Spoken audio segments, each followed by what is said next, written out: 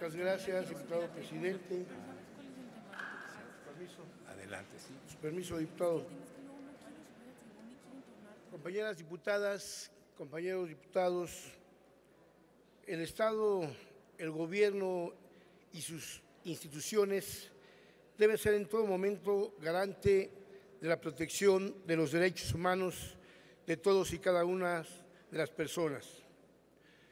Todos ellos tienen la responsabilidad y la obligación de responder a las víctimas de violaciones causadas por una acción u omisión de sus órganos de gobierno o bien de sus funcionarios públicos mediante la reparación integral del daño y la garantía de la no repetición de los hechos que les causaron agravios.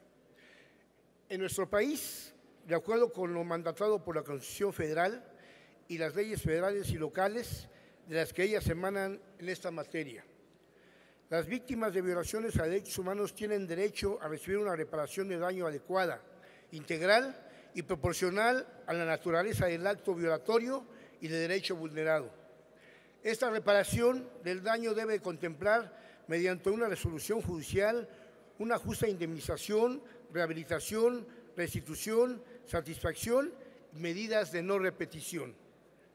En México, desafortunadamente, esta responsabilidad del Estado en algunos casos no cumple plenamente y diversos son los factores que producen este flagelo en nuestro país. Lamentablemente, la Ciudad de México no es la excepción. Debemos recordar que en esta ciudad contamos con una constitución local que surge como la primera que tiene como su total razón de ser en los derechos humanos y en la proximidad de los mismos. Varias son las facultades que nuestra Carla Magna le otorga a la Comisión de Derechos Humanos, misma que a través de los años ha sido la institución a la que acuden las y los ciudadanos de manera inmediata cuando consideran que han sido víctimas de abusos o delitos por parte de las autoridades.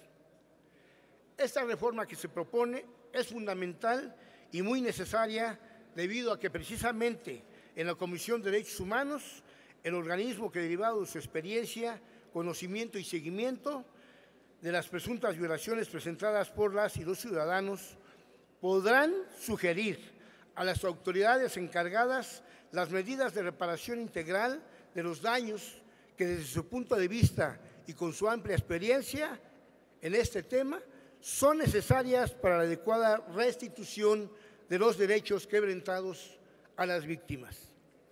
Este será un gran avance para que las víctimas de los delitos tengan más herramientas para lograr que los derechos que les fueron vulnerados les sean restablecidos de manera adecuada, acompañados para ello del organismo que sin duda es el que se tiene y el que tiene la amplia experiencia en este tema. Muchas gracias, diputado presidente. Gracias, diputado. Con, lo, con fundamento en lo dispuesto por los artículos 32 fracciones segunda y trigésima de la Ley Orgánica 84, 85, 86 y 187 del Reglamento